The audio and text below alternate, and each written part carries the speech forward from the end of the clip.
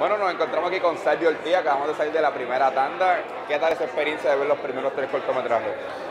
Pues mira, me parece súper eh, interesante lo que está pasando ahora con que los, cineastas que estamos, ¿verdad? Que no es que estamos, yo soy un viejo ya, ¿verdad? Pero eh, que tienen la oportunidad de, empezar, que tengan un espacio donde puedan eh, presentar sus producciones, me parece espectacular. Así que para mí la experiencia fue desde otro punto de vista porque desde que uno empieza, uno entra a esto, uno no tiene dónde, dónde presentarlo, dónde pues, y de, tanto tiempo hacia acá que ahora sí se puede, ahora pueden tener ese espacio, está súper chévere.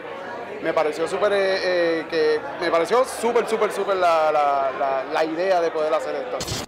Bueno, nos encontramos aquí con Will, uno de nuestros invitados en la noche de hoy en Cine Más Corto. Acabamos de salir de la primera tanda. ¿Qué te parecieron tus primeros tres cortometrajes que viste? Pues mira, me parecieron estupendos, súper contento de estar viendo que se está realizando cine eh, en Puerto Rico y por puertorriqueños, así que me parecieron súper, me encantaron. ¿Cuáles son tus expectativas en este mes de septiembre en el evento en general? Mira, espero que sigan apareciendo cortos eh, y que durante el mes se sigan filmando nuevos cortometrajes. Espero que esto inspire a nuestros cineastas a seguir creando eh, contenido. Eh, así que no solo los que ya están, sino que sigan surgiendo este mes, el mes que viene y, por ahí para abajo. Así es, muchas gracias por venir. Esperemos verte pronto más y más seguido por aquí. Claro que sí, muchas gracias. Encontramos aquí con Jorge Antares, el comisionado de cine de Cagua. Primero que todo te pregunto qué te parece esta propuesta de este evento aquí en el pueblo de Cagua.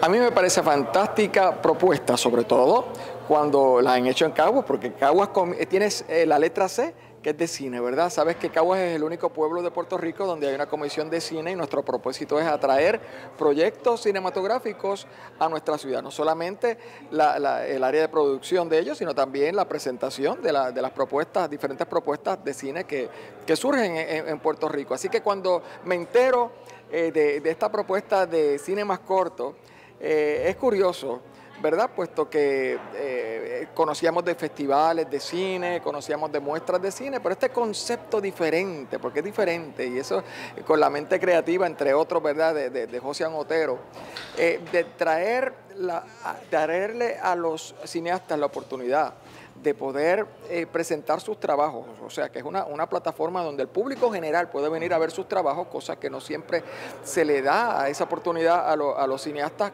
con los cortometrajes porque no son proyectos necesariamente comerciales, ¿no? Pues tener un lugar donde se puede presentar en pantalla grande, que es la aspiración de todo cineasta, poder ver su película en una pantalla de cine, no en otro un espacio ¿verdad? alternativo, sino en un cine real pues ya, eso es grandioso, ¿verdad? Entonces, brindarle también la oportunidad al cineasta que hace cortometraje de poder tener un espacio donde pueda recuperar algo de la inversión, porque sabemos que por no ser eh, proyectos eh, comerciales, muchas veces pues va todo el esfuerzo eh, financiero de parte de, la gente que está detrás de producción hacia algo que no les va a, generar ingresos de regreso. Pero aquí, a través de cine más corto, pues los cineastas tienen esa gran oportunidad de hacerlo.